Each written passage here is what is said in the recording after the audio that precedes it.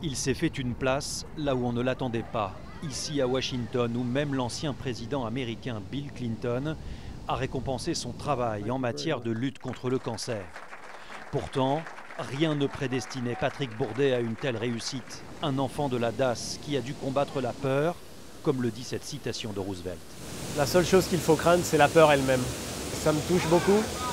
Euh, effectivement, il y a eu un moment dans mon histoire où j'ai eu très très peur. La peur, il l'a d'abord connue à l'orphelinat à l'âge de 4 ans. Son père vient de se suicider après avoir demandé à ce qu'on retire la garde des enfants à une mère trop dépendante de l'alcool.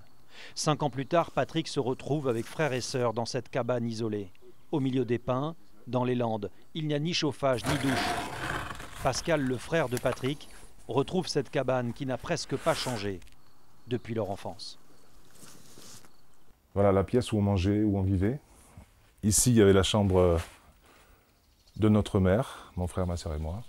Les enfants sont livrés à eux-mêmes. En récupérant la garde, la mère va faire de cet abri un lieu de terreur pour la fratrie.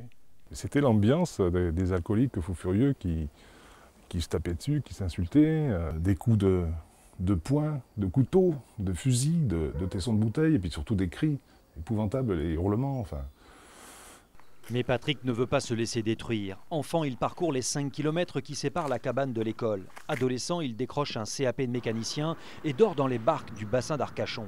Il enchaîne les boulots, ostréiculteur, vendeur, livreur, technicien, homme de ménage. À 36 ans, il obtient un master en commerce, HEC, l'université de Cleveland. Il se fait embaucher chez Areva jusqu'à devenir patron d'une des branches du groupe ici aux États-Unis, avec une idée en tête, ne jamais montrer d'où il vient je me suis efforcé de réduire la distance qu'il y a entre qui je suis dedans et comment j'apparais aux yeux des autres.